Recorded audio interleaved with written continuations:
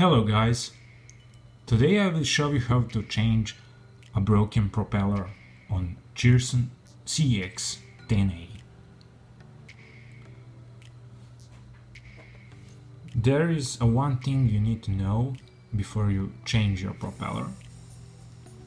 I got spare blades with this quad quadrocopter and uh, under the blades there are numbers and letters.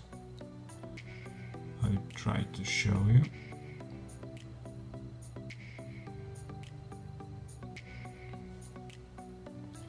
As you can see,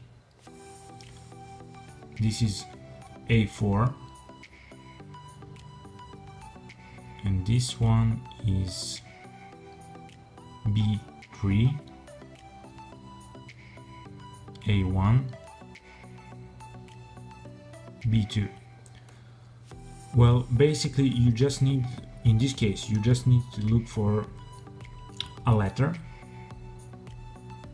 Here uh, broken blade is B3 so I will remove B3 when you remove blade try just to hold for this part here for the cup not for don't hold for propeller and pull up because you broke the blades. Sometimes you just want to replace blades but keep keep them in one part.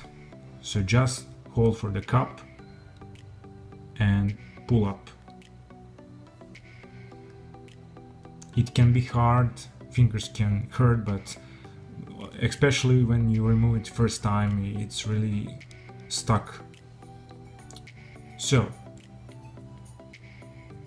this one is B3 so I will look for the B. Here is a B3 propeller.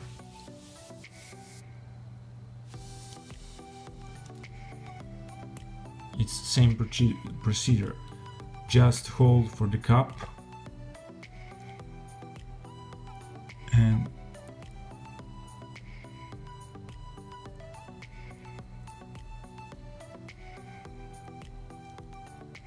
pull it down. Until it goes to the end. It looks fine.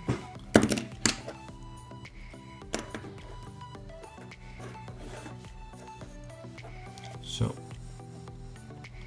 let's let it test it.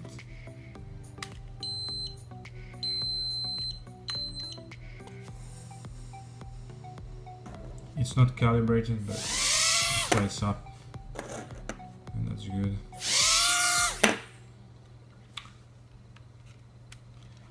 So that's it guys, I hope you enjoyed. For more videos please subscribe and until next time, see ya!